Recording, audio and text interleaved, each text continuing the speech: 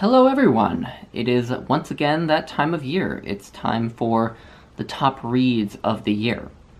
And this year I'm gonna do my top reads a little bit differently. I'm gonna post them as a series of videos over the course of the next couple of days. Today I am talking about my top three rereads of 2021. Tomorrow you will see a video about my top five nonfiction reads of 2021, and on Thursday you will see my top fiction reads of the year, my top six fiction reads of the year. But today I'm beginning with my top three rereads.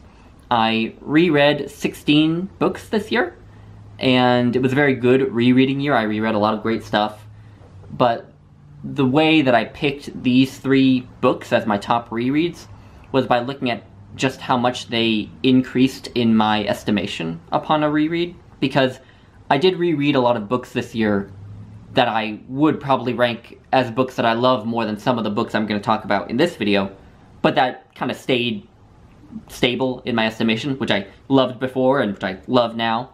And that's not to say that these three books I'm going to talk about are books that I did not like before, or, or even love, but they're books that took a significant leap in my estimation upon rereading them, and where rereading just benefited them exponentially.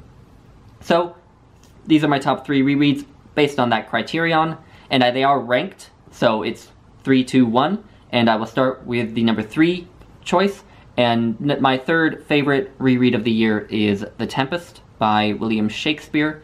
I reread this for Shaktember 2021, which is a event that I host with Jason from Old Blues Chapter and Verse and Rainy from Rainy Day Reads, where we read Shakespeare plays.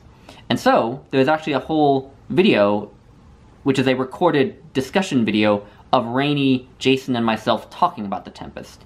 And I believe it was posted on Rainy's channel, Rainy Day Reads' channel, so I will link the link to that video if you want to see some in-depth thoughts from me and from the other two hosts of Shaktember on The Tempest. But The Tempest is a play by Shakespeare that I would have said before that I like and admire. I liked it for its language, I admired it for its kind of subversive, sort of weirdly postmodern plot, but I didn't love it.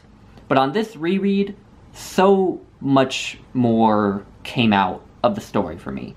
Just its themes of forgiveness and grace just leapt out at me so much more powerfully this time around.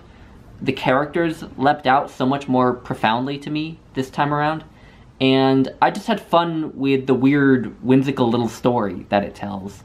And so it became my number four favorite Shakespeare play, which before my reread of it this year, it would not have been. It would have been much lower than number four. It wouldn't even broke the top ten. So, The Tempest by William Shakespeare is my number three uh, favorite reread of the year. My number two favorite reread of the year is another is a book that I loved before. I definitely did love before, but I just gained a whole new level of appreciation for it this year, and that book is The Lord of the Rings by J.R.R. Tolkien. And what I really appreciated about The Lord of the Rings reading it this year was the style that Tolkien uses in his prose, because I think he shifts between a few different registers in The Lord of the Rings. I think he has kind of a children's literature kind of style, especially at the beginning of The Fellowship of the Ring, which is taken kind of from The Hobbit. And then there's a bit more of a staccato, kind of almost dry, cut and dry style, which I think is taken more from the sagas, the Icelandic sagas, the Norse sagas. I might be wrong about that, but that's the sense I got, that it was this very staccato writing style. Uh, and then, it, periodically in The Lord of the Rings, he will burst out in just the most beautiful prose that sounds like it's from an epic poem or from the King James Bible. And what I think is so great about The Lord of the Rings as a book is I think that it's the contrast between these three styles that adds to the power of this book. Because I think those beautiful, eloquent passages would not hit with the same power as they do if they weren't surrounded by these other styles, by these this childlike writing and this more staccato, dry writing. And I just thought that that was such a great way to write the story. I thought it was so subtle and interesting. And so I just gained a whole new appreciation for that.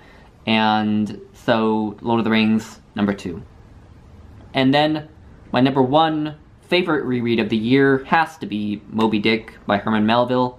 This was another book that I absolutely loved beforehand, but which I would not necessarily have put in my top 10 books of all time exactly. But after my reread this year, I think it's actually maybe my favorite book of all time. It's just the kind of epic and philosophical and weird story that I love. It's one of those works of literature that is so mysterious and weird, and I kind of wonder how Herman Melville even came up with the idea to write this weird, bonkers novel about a white whale being chased by this whaling crew. But that King Jamesian and epic style that Tolkien occasionally writes in in the Lord of the Rings, that's taken from the King James Bible and from Shakespeare, is basically Herman Melville's entire style in Moby Dick. And when a writer can write with that kind of prose style and have it work so well on every page, you know, I'm on board for that. But I just love its themes of, you know, the relationship of humans to nature, these existential themes, these theological themes, themes of megalomania, and I also love Moby Dick's fierce, like, Americanness. I think it's one of the most American stories one could ever tell. You know, about this crazed megalomaniac who thinks that this whale is out to kill him, even though that whale probably doesn't care about him. It just strikes me as so very American. And so I think it's my favorite book and my best reread of the year. So, Anyway, those are my three rereads of, my top three rereads of 2021. I hope you enjoyed the video. Give me your thoughts if you've read these books, if you like them or if you don't like them. And I will see you tomorrow for my top five nonfiction books. Talk to you later.